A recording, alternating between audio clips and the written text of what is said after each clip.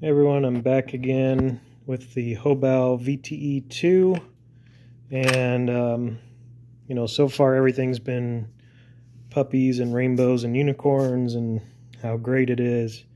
Uh, but I wanted to get into you know at this point I'm pretty much done with the build. It's ready to run.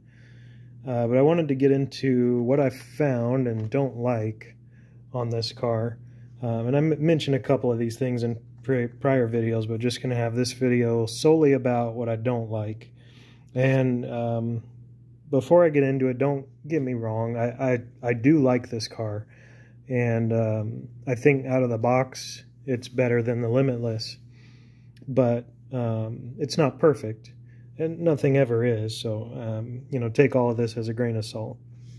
So one thing uh, would be this front body mount system um, you know, it's just plastic, super flexible. Um, similarly, on the bottom, uh, you know, making a splitter here would be a little challenging. You'd have to maybe attach it on the sides where it's raised a little higher. Um, but it's angled, so getting that flat would be a challenge. I think creative designs, you know, are going to have to be done to get a diffuser on the rear. And uh, really, for all the people that make chassis, I don't know why everybody cuts like this. Why not bring it straight up and straight across? Like you're leaving room here and this huge opening in the back. Um, and probably even some here could be filled in. Um, all these little openings here is a bit excessive too. We don't need all that. Um, if you want to reduce weight, you know, maybe carve it out on the top side where the battery sits. Um, so some things I don't like. The motor mount, uh, which you can't see it very well with my spur in here, it's made for M3 screws. We're talking about these little guys. So you're going to have two of these tiny little screws holding a motor that can output 10 horsepower. Um, no. I, I run the 8 millimeter shaft on these more powerful motors, and I always get M4 mounting screws. Uh, so I had to drill out the motor mount to fit M4 screws in there. Um, so that's one thing. If you're going to run the motor in this rear position, I ended up having, well, let me say this would be for drag guys only or bashers. If you want to run the 48 tooth spur like I've got here, I had to cut an additional window for the gear there. For whatever reason, the opening's right for all the motor positions except when you have it flipped this way. It's, it's fine if you have it in the front, but you can't run a 4070 in this front position. You'd have to run it in that second position. 4060s, 4050s, 4040s, all that'll work. And if you're drag racing, eh, I haven't never done drag racing. Maybe lighter motors is a, better thing anyway. Possibly, I, I don't know. Um, let's see, what else? I mentioned before the the shock body is not threaded all the way down. This is about as far as it goes down. Um, although I, I, love the feel of the shocks, the uh, valving, everything there is pretty good. Um, like most RCs, there's a lot of shimming you're going to need to do. Um, the other thing, it's a small thing and a cheap fix, but they're uh, X nuts do not have uh, the little cuts in it to where it stops it from loosening and, and these smooth wheel nuts like this will definitely back off at some point.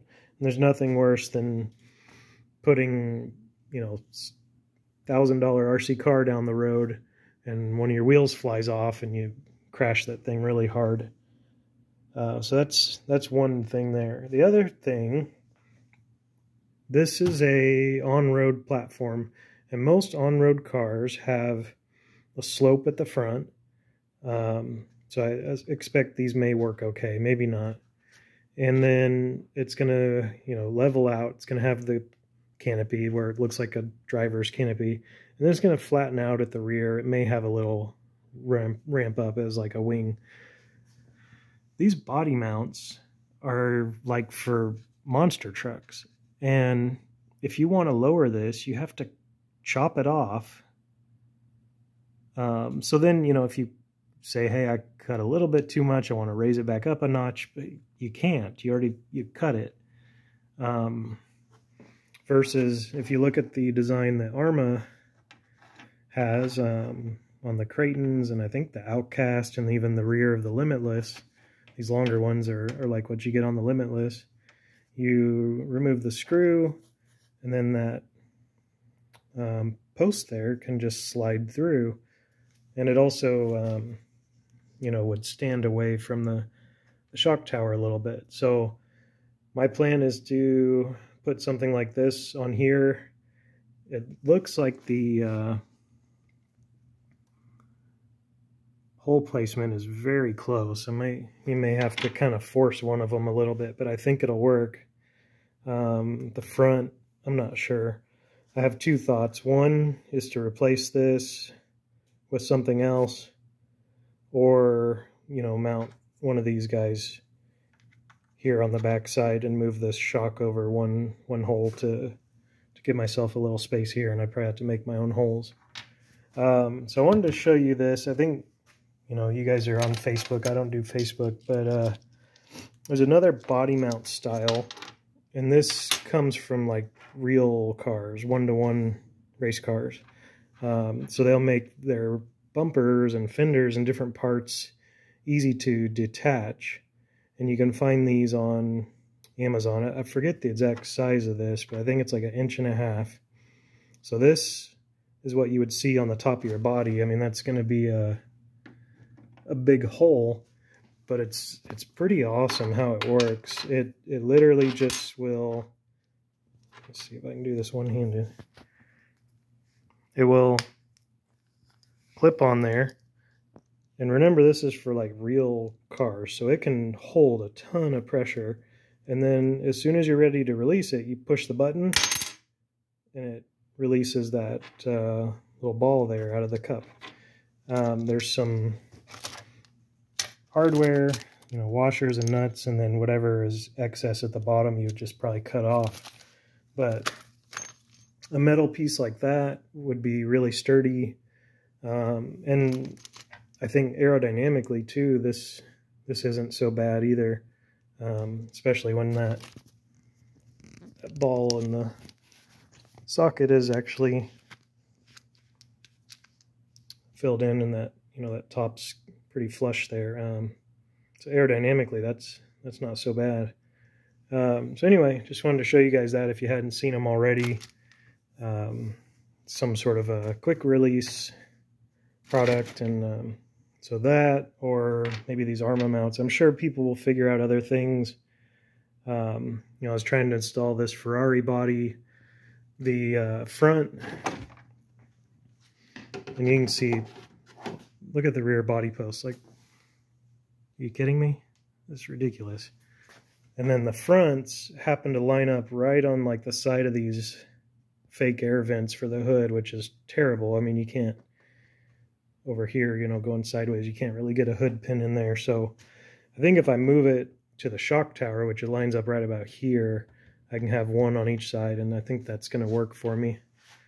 Um, anyway, wanted to share with with you guys a couple things that I've found so far that I kind of don't love. I also don't love that they put that zero degree hinge pin block. I think they should have made that the optional part.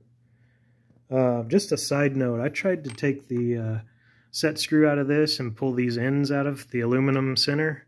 Even took a torch to it. I couldn't get them out. I couldn't get them to even twist. Um, of course, I didn't want to break it, so I kind of gave up. But it was it was on there. Um, sure, I'm gonna get asked about it, but this is literally just an aluminum 90 degree angle uh, piece of metal you can get at the hardware store, and then you know 3M tape it on here. You could pick the car up by it. It's it's on there so well that it keeps your wires short. Um, of course, just consider where your gears are and you might want to do something to protect these wires but um, I relocated the radio box too over here just to make it look clean um, and then the plan is to run both four cell batteries over here on the front side but that is it. Uh, you know, I still like the car and um, still very happy about it, but wanted to give you guys some notes on, on what I'm a little disappointed with. I'm anxious for maybe PPS to make a motor mount.